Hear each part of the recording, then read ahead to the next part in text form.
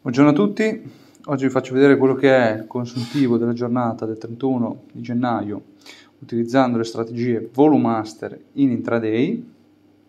Prendiamo la calcolatrice, quello che si è realizzato è 450 più 450 più 45 più 712 meno 229 meno 68 più 621 più 207 quindi 2188 euro in una sola giornata operativa grazie alle tecniche Volumaster. Se non sei ancora iscritto iscriviti alla presentazione, trovi il link qui sotto, non mancare.